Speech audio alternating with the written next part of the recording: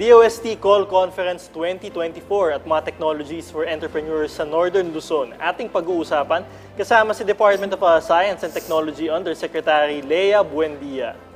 Yusek Buendia, magandang tanghali po at welcome sa Bagong Pilipinas ngayon. Magandang tanghali po sa ating lahat at salamat sa oportunidad na ito po for the interview. Unahin ko na po, Yusek, itong uh, inilunsad na DOST Call Conference 2024 uh, sa Baguio City. Maaari niyo po bang uh, ibahagi sa amin ang mga detalye ng event na ito? Actually, ito po yung una sa ilang serye ng aming call conference ng DOST. Ang aktibidad na ito po ay ginagawa upang um, makas, makasabi ng ano ang mga priorities ng DOST na popondohan for research and development. At ito po ay uh, dito ginanap sa siyudad ng Baguio. Ito po ang panimula for the 2024 call conference. Meron pa pong apat na lugar na ito po ay gaganapin din upang maabot po natin lahat ng researcher sa buong Pilipinas. Meron po sa Visayas, sa Mindanao at saka po sa NCR. Okay, Yusek Lea, si Chi Atienza po ito. Kamakailan po ay naibalita na ilang magsasaka sa Tublay, Benguet ay nagtambak sa gilid ng kalsada ng kanilang mga ani na hindi nabili ng mga mga ngalakal. May solusyon na po ba ang DOST na maaring makatulong sa ating mga magsasaka? Actually, ang nakita po namin na solusyon dyan ay post-harvest processing. Matagal na pong merong Food Innovation Center dito po sa Baguio. Ito po ay naandoon sa aming uh, cooperating agency na Benguet State University. Ito po ay nagagawa ng uh, prototyping um, mga equipment para maka uh, gawa ng iba't ibang klasing produkto out of the excess um, produce ng mga farmers. Uh, meron din po na technology dito kagaya ng vacuum fryer, freeze dryer, water retort at saka packaging machine.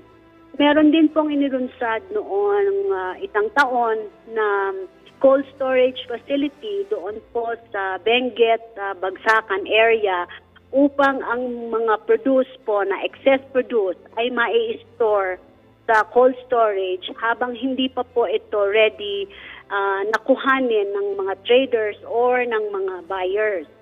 Dito rin po sa cold storage facility na ito ay merong alternative parang packaging system na yun pong pag tinatanggal yung mga out, outer part or outer layer ng mga ng mga uh, vegetables ay pwede pa din po nating gamitin, ipapackage lang po na parang ready to cook or ready to eat na salad or ready to cook na mga vegetables for stir fry or mga ganyan po. Uh, ito po ay inintroduce din doon sa cold storage facility para po habang inaalis yung mga hindi na masyadong magandang portion ng vegetables ay pero hindi pa po ito yung mga nabubulok. Ito po ay pwede pa rin kainin. So para po walang masayang. Dahil pagbaba po nito sa Metro Manila ay napakamahal pa rin po ng presyo ng ganitong uh, vegetable. So ito pong dalawang intervention na to ay available po dito sa uh, lungsod ng Baguio. Ito ho, tuloy-tuloy lang ho, Yusek sa Northern Luzon. No? Para naman ho dito sa Northern Luzon, ano po yung maaaring maging impact ng research and uh, development para sa mga negosyante doon? Meron na po ba nga natulungan ng DOST sa inyong uh, mga programa ho no, sa Northern Luzon? Actually, marami pong um, natulungan na ang Department of Science and Technology dahil ito po ay nagbibigay suporta sa mga research and development. At uh, yung pong produkto ng research and development ay ito po ang dapat na ginagamit ng ating mga negosyante para po mapaunlad ang kanilang mga produkto. Halimbawa po, dito sa Benguet State University, meron po kaming pinondohan dito na nicer center na nag-aayon po sa potato research and development. At ito po ay naggagawa sila ng clean seed potato planting materials.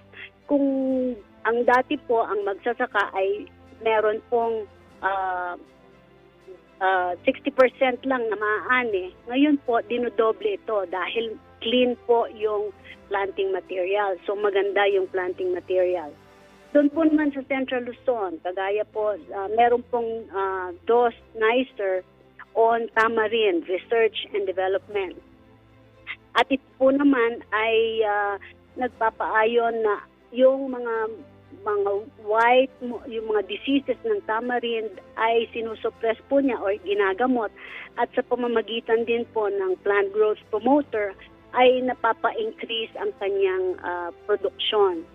At hindi lang po yun, meron din po silang mga tamarind seedlings na magaganda rin ang quality ng seedlings kung kaya't mataas din ang, ang kanyang ah, yield.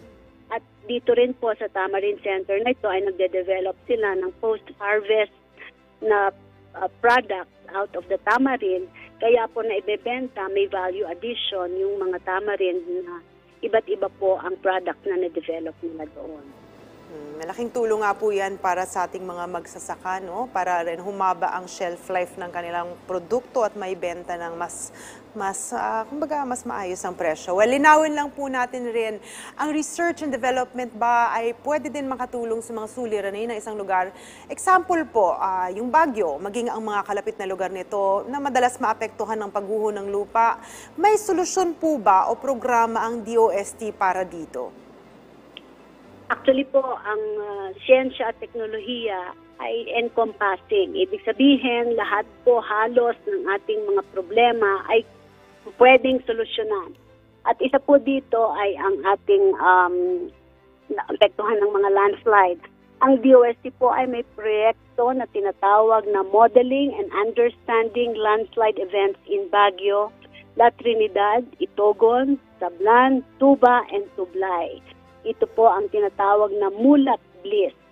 Ang proyekto pong ito ay naglalapat ng multidisciplinary at multivariable approach for landslide modeling, monitoring at early warning system. So sa pamamagitan po ng proyektong ito, makakagawa po ng web at saka MSS, SMS uh, based early warning system at isang management information system.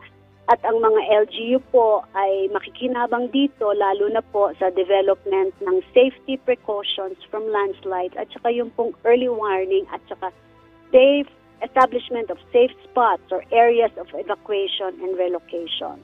So, meron pong mga ginagawa tayo na research at sana po ay magamit ng LGU ito para po sa uh, apektuhan ng landslide or pagguho ng lupa.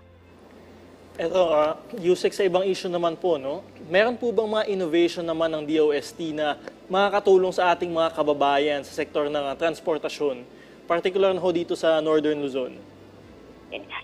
Meron din po yan. Ang tawag po namin dito ay yung NICER program na Establishment of the Electromobility Research and Development Center. Nakabase po ito sa Cagayan State University. Kung malalaman po natin at marirecall natin, ang ating pong mga tricycle ay yung may ah, two-stroke two-stroke, ibig sabihin nilalagyan pa po ng langis para ito ay tumakbo at ito po ay nagiging masyadong mausok. Naggawa po ang ah, center na ito na kinonvert yung mga tricycle na two-stroke into e-trike. So ito pong e-trike na to ay mga electric tricycles upang maging ah, less ang carbon footprint dahil electric na po siya. Ito po ay ginawa ding cost effective, ibig sabihin para po efficient yung tricycle ay mas mababa po pa, pa- para ikumpara doon sa pag-maintain mo nung two-stroke na ganon at saka yung carbon emissions ay nawawala.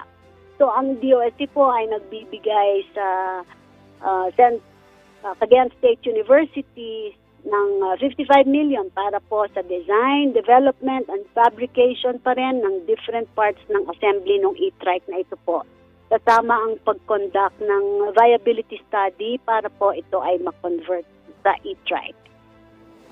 Alright, mensahe na lang po, Yusek, sa ating mga kababayan na nakatutok sa atin ngayon.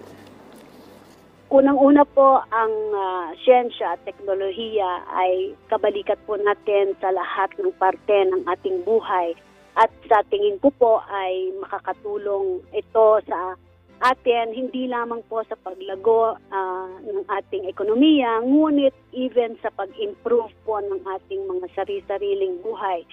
At ah, nag ina-encourage po namin na yung ating mga researchers, maging yung mga matatanda ng researchers o yung mga eksperto na at yung mga budding researchers ay mag-isip ng ah, mga solusyon na pwedeng mapondohan ng research and development upang continuous po ang ating pagbigay ng solusyon sa ating mga problema.